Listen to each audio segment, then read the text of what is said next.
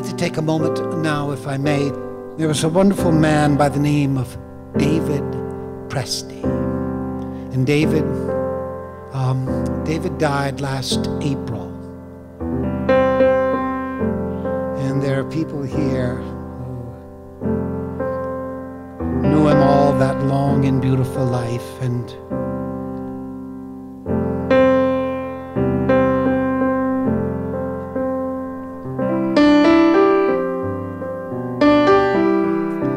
asked if I'd do a song for him, and the answer is I would be so honored to do that. I, you know, I speak with my students, and and and I say, you know, um, careers last a long time, and when you get older, people will come and they will say to you things like, "Would you play that song?" That song that I that I used to hear when I when I didn't hurt so much, or when I was younger, or when I was stronger, or when I had more hope, or when I had something different than what I am now. And you get to look at them and you get to say, I'd love to do that. I'd be honored to do that. And uh, oh, that's the that's the best stuff.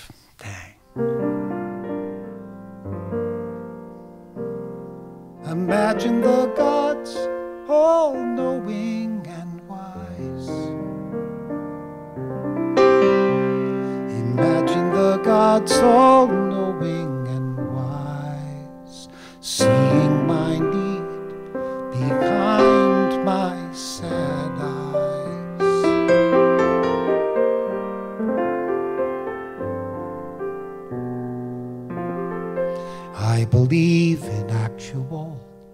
in the clear, the concise, and the factual.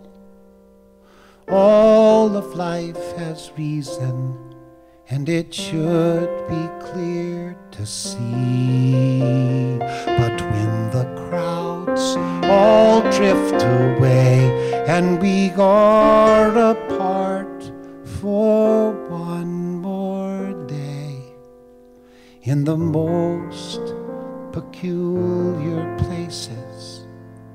you're where you should not be. There you are again in the rustling leaves of a summer storm in my favorite chair, safe and warm, in the wish that a child believes.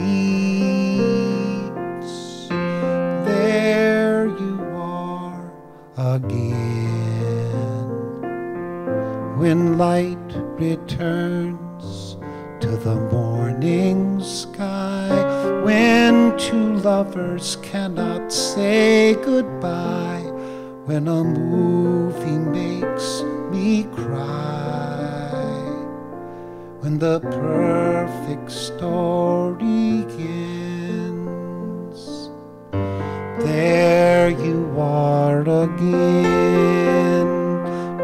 I ever get over the feel of your touch, the sound of your voice, the scent of your hair, your quiet reminder to not be afraid when you promised you'd find me somewhere.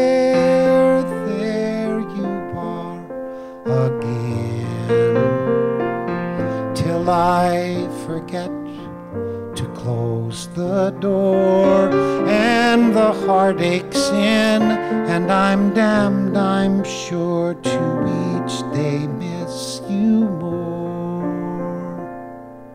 when I think I can't endure.